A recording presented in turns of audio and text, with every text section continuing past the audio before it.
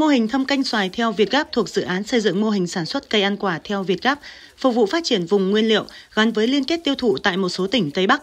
Có quy mô 10 ha với 3 hộ thành viên của Hợp tác xã Nông nghiệp và Chăn nuôi Phương Nam, huyện Yên Châu, tỉnh Sơn La tham gia. Mô hình được triển khai từ năm 2022. Tham gia mô hình, các hộ dân đã được hỗ trợ vật tư túi bao quả, được tổ khuyến nông cộng đồng hướng dẫn kỹ thuật cụ thể về quy trình chăm sóc như cắt tỉa, tạo tán, hạn chế sâu bệnh, giữ ẩm và bón phân hữu cơ đúng thời gian, liều lượng quy định, sử dụng thuốc bảo vệ thực vật đúng cách và bao quả từ giai đoạn sớm. Sau hơn một năm thực hiện, mô hình sản xuất tiêu chuẩn Việt Gáp cây xoài cho mẫu mã quả đẹp, năng suất chất lượng cao hơn, ước đạt trên 200 tấn quả trong năm 2023 với giá bán trung bình 8.000 đồng trên 1 kg. Hai năm vừa qua do cái đại dịch Covid nó xảy ra, nên giá lông sản nó xuống rất là thấp.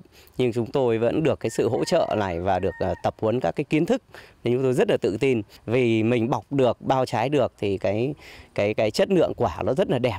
Nên là đưa tới tay người tiêu dùng, người ta rất là ưng.